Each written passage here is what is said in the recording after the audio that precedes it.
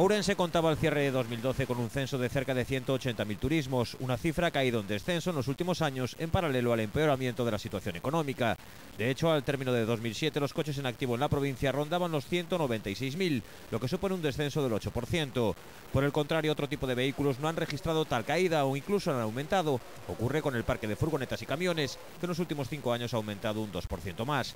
Mayor crecimiento experimentó el censo de motocicletas, un 33%, y lo mismo sucede con la flota de autobuses, que experimentó un aumento por encima del 50% en los últimos 10 años.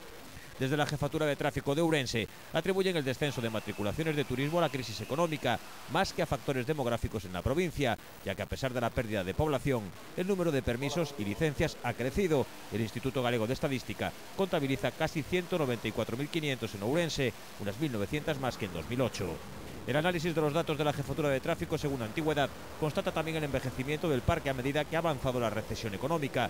De este modo, en 2007 prácticamente el 50% de los coches censados en Ourense tenían menos de 10 años.